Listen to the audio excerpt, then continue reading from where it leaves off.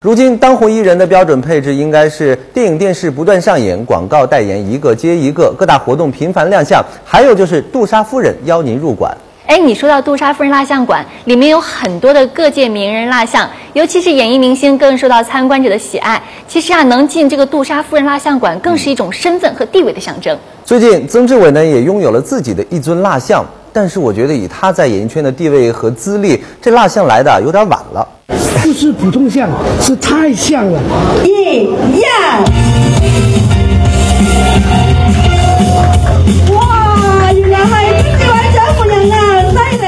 能让曾志伟发出如此赞叹的，正是香港杜莎夫人蜡像馆为他量身定做的这尊蜡像。除了这一身曾志伟在他主持的电视节目《蒋门人》里的夸张服饰，这尊蜡像无论是身高、体型，还是面部轮廓，甚至嘴角上翘的弧度和眼角的鱼尾纹，都和曾志伟本人如出一辙，简直就像一对双胞胎。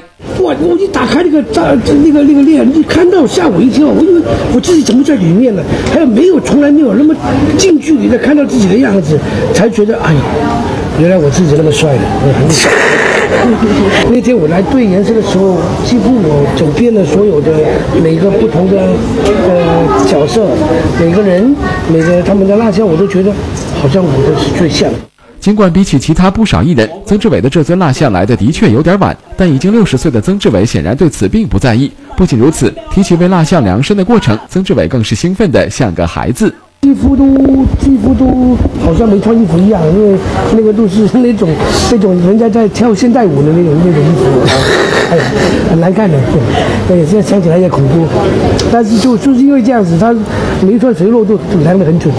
尤其是他这么专业，我就不好意思说，哎呦，我好累啊，怎么样？因为人家都这样子了，我还能讲什么？所以看到这个这个像的时候，就觉得这五小时没有白花。